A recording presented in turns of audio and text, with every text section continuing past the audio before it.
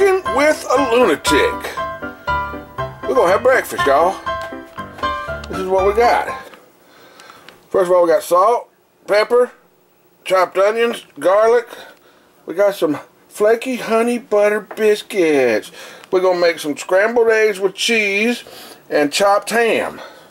I'll show you what I'm gonna do here in just a minute. Yeah, but uh, let me just say good morning, everybody.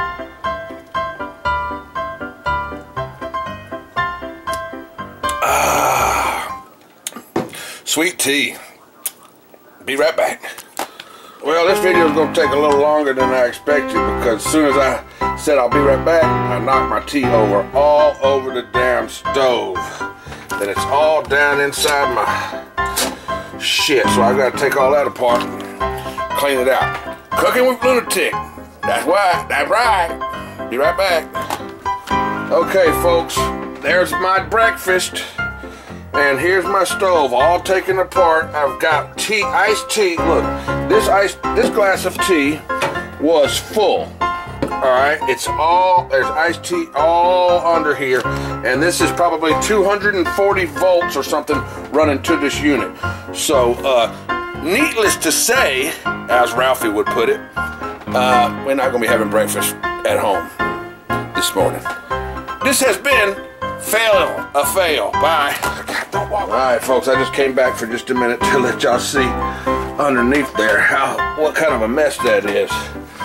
And uh, in the process of cleaning this out, you do not want to touch those wires because you will get your ass zapped. So if you do this like I did, I suggest you take your butt back to the doggone breaker box and shut the breaker off.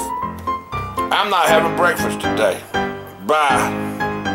Alright, folks, now I need to wash my hands up.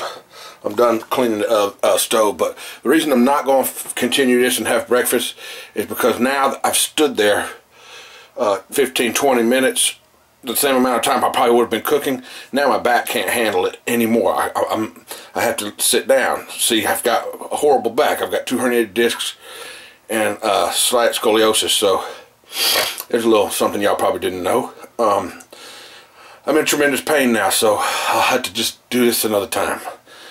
Signing out and uploading and editing. Bye.